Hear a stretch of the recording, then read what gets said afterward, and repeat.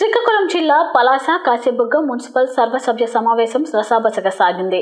ప్రజా సమస్యలపై పలుమార్లు వినతి పత్రం అందించిన స్పందించిన చైర్మన్కు వ్యతిరేకంగా నిరసనలు వ్యక్తం చేస్తూ వైస్ చైర్మన్తో పాటు అధికార పార్టీకి చెందిన పలువురు కౌన్సిలర్లు బైఠాయించారు. ఈ నేపథ్యంలో సభా నిబంధనలు పాటించని కౌన్సిలర్లపై నైన్టీన్ సిక్స్టీ ఫైవ్ చట్టం ప్రకారం సస్పెండ్ చేయాలని చైర్మన్ బల్లా గిరిబాబు కమిషనర్కు ఆదేశించారు.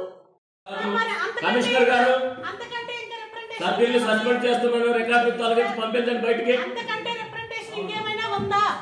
సార్ మే- మరి మాకు పని కావాలంటే రిప్రజెంటేషన్ ఇవ్వండి నెక్స్ట్ మీటింగ్లో చేస్తాం. ప్రజావేదిక కానీ సభలు కావాల్సి ఆటంకపరిస్తే ఇక్కడ సభ సాంప్రదాయాలు కావాల్సిన సబ్జెక్ట్ కోసం మాట్లాడుతున్నాం.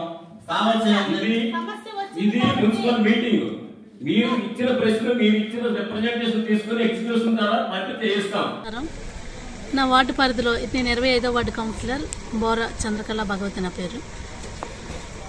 గత ఆరు నెలలైంది మా కౌన్సిల్ మేము కౌన్సిల్ తీర్చిదిద్దుకొని ఆరు నెలలుగా అవుతుంది.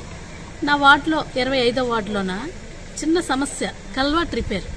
కల్వాట్ రిపేర్ని ప్రతి మీటింగ్లో కూడా నేను ప్రస్తావించడం జరుగుతుంది. ప్రతి కౌన్సిల్ మీటింగ్లోనే. కౌన్సిల్ మీటింగ్ అంటే మాకు ప్రజ వేల మంది ప్రజల సమస్యలను తీర్చగలిగే దేవాలయం అది. అటువంటి దేవాలయంలో మేము మా కష్టాన్ని చెప్పుకుంటున్నాము కానీ ఇంకా చెప్తూ కమిషనర్ గారికి మన మంత్రివర్యులకి వీళ్ళకి రిప్రజెంటేషన్లు ఇవ్వడం కూడా జరిగింది.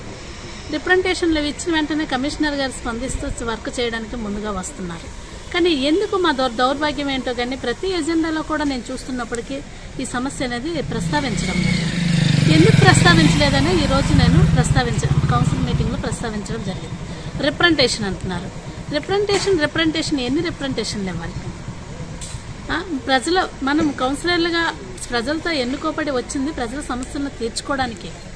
సో మా బాధ అంతా ఏంటంటే ఈ సమస్య అనేది వీరున్నంత తొందరగా తీర్చి మా ప్రజలకు వీలున్నంత న్యాయం చేస్తారని చెప్పేసి నేను ఈ సభాముఖంగా అడగడం జరిగింది.